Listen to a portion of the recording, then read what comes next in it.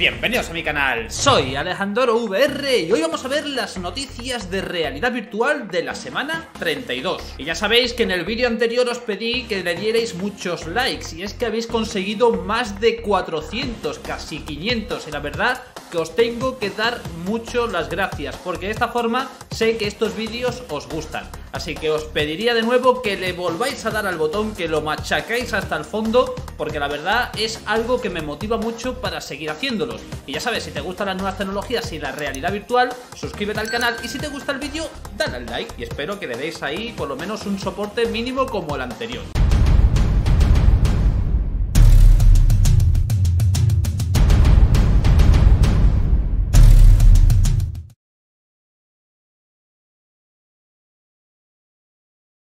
Bueno, pues nada, ya estamos por aquí ya sabéis que en el mes de agosto la verdad que es una época muy complicada para la realidad virtual. Las empresas están de vacaciones y hay pocas noticias de este mundillo que podamos estar dando. Pero aún así he estado buceando por diferentes páginas web y he encontrado algunas noticias destacables que creo que son muy importantes de mencionar en este vídeo resumen de noticias de la semana 32. Y sin mucha más dilación vamos a empezar con este vídeo de noticias que espero que esta vez sí que sea la definitiva para quedarse. Y bueno, vamos a pasar a hablar de el primer dispositivo de realidad virtual standalone que salió al mercado con posicionamiento 6.2 y que nos permite jugar a diferentes juegos. Y no, no es Oculus Quest. Y es que el standalone diseñado por HTC, el Vive Focus, ahora va a venir con una versión denominada Plus, que va a recibir una actualización en la que permitirá hacer streaming desde el PC al dispositivo mediante el Wi-Fi estándar de 5 GHz. Ya sabemos que este producto no ha sido aceptado por la comunidad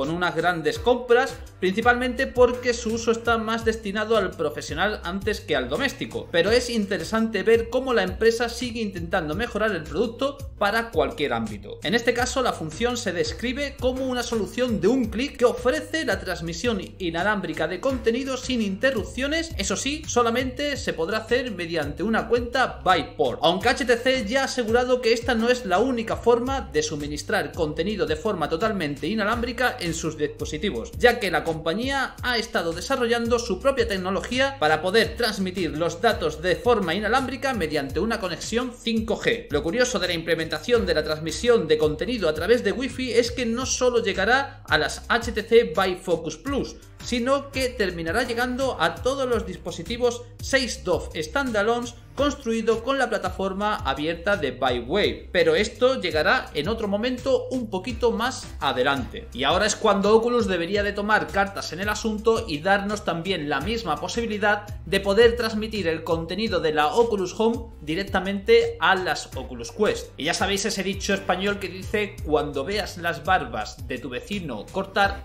pon las tuyas a remojar. Así que ya sabes, Oculus, ponte las pilas. Ahora vamos a pasar a hablar una noticia que es bastante interesante a la vez que importante. Y son los resultados de la encuesta de Steam para la realidad virtual. Y es que nos vamos a encontrar unos resultados la más de sorprendentes para dispositivos de realidad virtual. Obviamente, lo primero que hay que decir es que esta encuesta es totalmente opcional y que, por ejemplo, yo llevo muchísimo tiempo sin hacerla. Pero creo que es bastante interesante comentar porque podría reflejar perfectamente todo el panorama actual que hay de realidad virtual a lo largo del mundo. En esta gráfica ya nos sorprende ver los dispositivos de realidad virtual más modernos que acaban de llegar al mercado, como por ejemplo las Valve Index y las Oculus Rift S. Y es que si tenemos en cuenta los valores absolutos por compañía, vemos que Oculus prácticamente representa el 50% de los visores de realidad virtual que hay conectados en la plataforma. Y ojo, una cosa importante, porque hay todavía muchísima gente que no utiliza Steam VR, sino que simplemente está utilizando Oculus Home. Y ya como segunda compañía de realidad virtual nos encontramos con HTC que tiene aproximadamente un 39% de la cuota de mercado. El resto de la tarta se la reparten entre Valve Index, Windows Mixed Reality y un desconocido dispositivo de Huawei VR, que no sé exactamente cuál sería. Si entramos a valorar cada uno de los resultados, nos encontramos con lo siguiente. Oculus CV1 domina la tabla con un 40,9%. Le sigue HTC Vive con un 37,08%. El tercer puesto se lo llevaría las Windows Mixer Reality con un 9,39%, que le seguiría de muy cerca las Oculus Rift S con un 8,4% de la cuota después de apenas dos meses desde su lanzamiento. Y ya engrosando las tablas nos encontramos con las HTC Vive Pro que tienen un 2,19%, seguido de Valve Index con un 1,46%, Oculus DK2 con un 0,46% todavía a estas alturas, y por último ese Huawei VR que tiene un 0,01%, que la verdad no sé exactamente qué es lo que pinta aquí. Podríamos destacar muchas cosas de esta lectura y es que simplemente con dos meses de vida las Oculus Rift S se han han hecho prácticamente con la misma tarta que tienen las Windows Mixer Reality desde el 2017, lo cual explicaría en gran medida esa rotura de stock que está teniendo constantemente cuando las minoristas no están teniendo el producto para poder ofrecérselo a la gente. Y en cambio, las Valve Index, que también han vendido muy bien, pues están ahí, pero en una medida muy inferior a lo que vendría a ser el lanzamiento de Oculus Rift S. Y de aquí podemos sacar algunas lecturas, como que es cierto tal vez que Oculus esté rompiendo constantemente el stock aún teniendo una gran base de suministro, en cambio podemos ver que con ese 1,49% las Valve Index están vendiendo muy bien, pero no tienen tanto stock como creíamos, porque de ser así las ventas hubieran sido mucho más importantes y el porcentaje hubiera sido mucho mayor. Creo que las conclusiones son bastante claras y tener un visor de realidad virtual a 399 dólares da la posibilidad de expandirse a casi lo mainstream. Lo que sí que he hecho en falta en este tipo de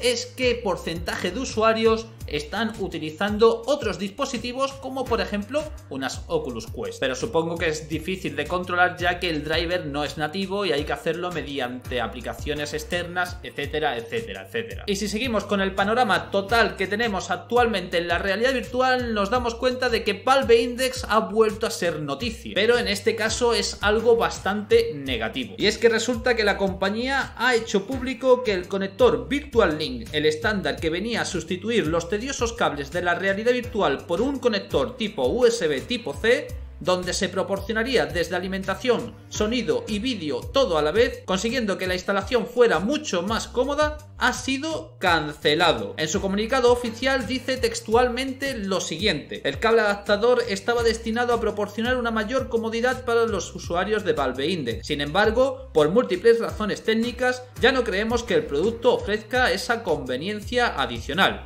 Nuestras pruebas actuales indican que la conexión de VR puede fallar al establecerse de manera confiable. Además, la tecnología Virtual Link no ha sido ampliamente adoptada por los fabricantes, en particular los portátiles, lo que se traduce en muy pocos PC con puertos viables para esta conexión. En definitiva, habían propuesto crear un cable para todos aquellos que lo querían y disponían del puerto, pero por la fiabilidad de transmisión no lo van a hacer aunque yo personalmente creo que esto es más que una mera excusa y que el motivo real es lo segundo que han dicho y es que no hay una base bastante establecida de este puerto para poder utilizarlo. Y como ya sabemos, trabajar normalmente para nada y no poder ofrecer ese producto a todos los usuarios pues se termina por cancelar. Y esto es lo que creo que ha podido llegar a ser el causante de que esto no llegue a buen puerto. Y ahora vamos a hablar de un juego que ha levantado muchísima expectación en la realidad virtual, sobre todo para el manga y el anime del Sword Art Online, y no es más ni menos que Nostos, un RPG de mundo abierto creado por NetEase Game, y es que la ambición por crear este Nostos en realidad virtual es bastante alta y hay muchísimo hype. Sobre todo esto último, aunque ya se ha podido jugar a una alfa cerrada para probar el juego y ver sus mecánicas, por lo que se vio le quedaba muchísimo por mejorar. Nostos apareció por sorpresa por primera vez en la Gamescom del 2018 y el estudio dijo que se lanzaría en el Q3 del 2019, aunque hay una mala noticia porque el juego será retrasado hasta el Q4 de este mismo año. Lo bueno de este juego es que han prometido un mundo abierto totalmente explorable y listo para ser usado en realidad virtual. Habrá todo tipo de entornos a visitar, desde desiertos a praderas, tanto de día como de noche, eso sí, rodeado de un mar tóxico que está consumiendo el planeta poco a poco. Nostos estará compatible para Steam VR, Oculus Rift y Windows Mixer Reality y en teoría admitirá hasta 20 jugadores que posiblemente se nos pueda llegar a antojar bastante poco para ser un mundo abierto tan grande. Creo que será complicado encontrarte con alguien en condiciones. La verdad es que el juego en teoría es bastante llamativo, pero habrá que ver qué es capaz de transmitirnos cuando nos pongamos el visor de realidad virtual. Espero que las mecánicas de VR estén bien implementadas y que sea un juego donde podamos estar unas largas temporadas sin necesidad de salir de él. Ahora vamos a ver un tráiler de la nueva actualización del No Man's Sky que va a ser lanzado esta misma semana, que nos va a ir preparando para esa actualización denominada Beyond. Y estar atentos porque el día 14 seguramente haremos un directo para intentar resolver todas las dudas sobre este juego. Y es que Sin Murray, el fundador de Hello Games, ha publicado un tweet en el que podemos ver el nuevo tráiler de No Man's Sky Beyond, donde ha comentado que la función más requerida para esta actualización ha sido la inclusión del modo de realidad virtual. Prometieron enseñar nuevos detalles de esta actualización y es lo que han querido hacer con este tráiler, y de esta forma poder descubrir las actualizaciones que vendrán en el mismo. Por ejemplo, podremos descubrir que las naves y los edificios serán más grandes que de lo normal. Además, también incluirán muchos más detalles. Algo que me dejó un poco sorprendido cuando lo vi fue que podremos usar algunas de las criaturas como monturas para cabalgar en sus lomos. Esto tiene que ser una pasada en realidad virtual. Recordad que esta actualización traerá la compatibilidad de la realidad virtual a PlayStation VR, HTC Vive y Oculus Rift, aunque supongo que mediante Steam seguirá con la compatibilidad para todos aquellos que tengáis unas Windows Mixed Reality. En el apartado multijugador nos permitirá hacer grupos de hasta 12 personas. Hay que recordar que en la antigua actualización ya nos permitía hacer esto pero solamente con 4. Así que hemos visto cómo se amplía con esta posibilidad con hasta 8 huecos más. En definitiva, una actualización gratuita de este juego que ha visto como el paso del tiempo lo único que ha hecho ha sido mejorarlo. La verdad es que es impresionante ver la progresión del mismo. Desde del fracaso que supuso su lanzamiento a lo que están consiguiendo en estos días. Bravo por Hello Games y cómo han sabido llevar todo esto para limpiar su nombre y crear un juego realmente interesante. Y ahora ya simplemente mencionar dos cositas. Tenemos a Pit Saber con una nueva actualización que nos va a permitir cambiar los colores tanto del entorno como de las armas, sobre todo enfocado a todas aquellas personas que tengan algún poquito de daltonismo y también que tenemos que Deer Rally 2.0 ha sido actualizado a su versión 1.7 en la que se va a incorporar el soporte para la realidad virtual virtual. Así que nada, bitumaniacos, espero que os haya gustado el vídeo. Ya sabéis que os podéis hacer mecenas del Patreon o miembros de YouTube si queréis apoyar al canal tal y como lo estáis haciendo, que desde aquí tengo que darle las gracias a todos aquellos que ya estáis como miembros y como mecenas. Y ya lo que siempre os digo, Espero que os haya gustado el vídeo, dadle al like y compartirlo, que eso ayuda un montón. Y ya nos vamos viendo por aquí. Venga, hasta luego. Vamos, virtumaníacos, que hay que volver a tener esos 400 likes. Dale al botón, dale al botón, dale al like y compartirlo. Dale like, like y compartir, y compartir, y compartir.